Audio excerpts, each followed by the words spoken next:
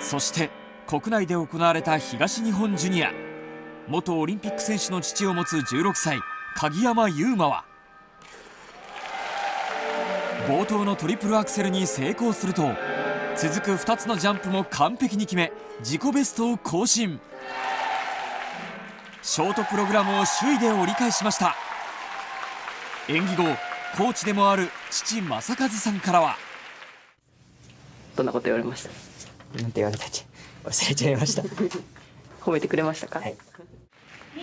国内で行われた東日本ジュニアでは16歳の鍵山優真が見せます。